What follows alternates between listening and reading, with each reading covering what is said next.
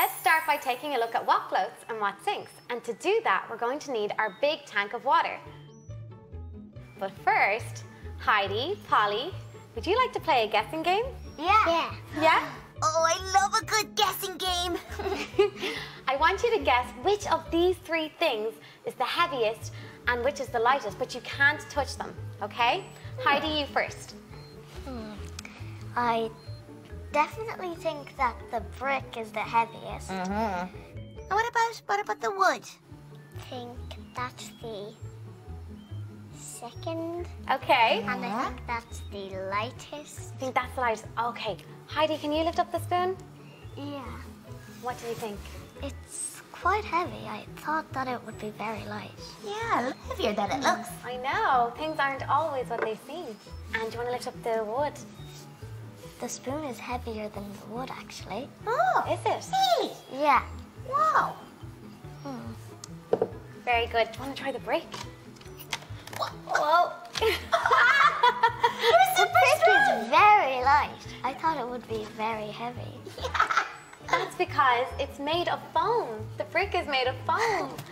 That's really odd because the smallest thing was probably the heaviest, and the biggest thing was the lightest. Exactly, Zoom. Things aren't always as heavy or light as they appear. And that's because of something called density. Density. What's that, Kira? Dense. Density. Density. Density. Great. Great. Let me explain. Everything is made up of tiny bits. The spoon is made up of metal and it's made up of tiny bits that are squeezed really close together.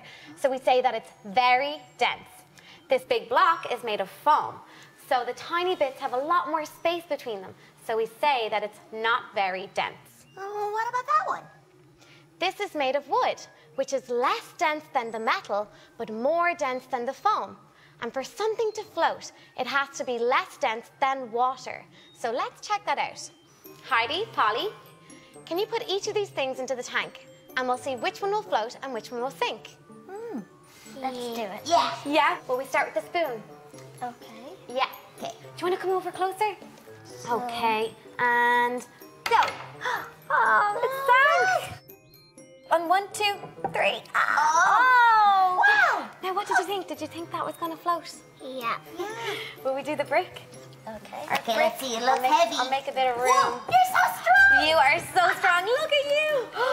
Oh, thanks, Polly. Oh, will give you a hand? Okay, we're ready. One, two, three. Oh. Whoa, it floats. the metal spoon sank, but the foam block and the piece of wood are floating. That's right. If something is less dense than water, it will float. And if something is more dense than water, it will sink. So, Kira, the metal is more dense than water, and foam and wood are less dense than water. Correct. Ah, Eh, Kira, Yes, Sue? I wonder, am I more dense than water? Hmm, Let's not find that out, Sue. Your lovely fur would take ages to dry. Let's find out. Mark, I have a question. Okay, Zoom, what is it? Wood is less dense than water, Yes. and some boats are made of wood. Yes.